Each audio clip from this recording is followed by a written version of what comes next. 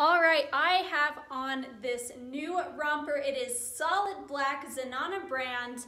The top has these functioning buttons that all um, work. They're functioning so you can unbutton as many as you want, leave them buttoned up.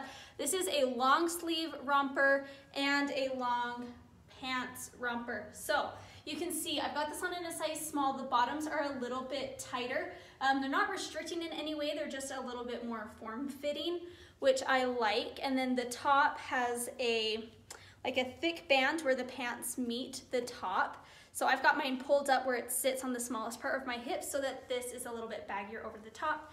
It's got pockets, and then on the wrists, you can see there is an elastic band on there to keep it on your wrists and give you just a little bit of a puff sleeve down at the bottom. Super cute and flattering.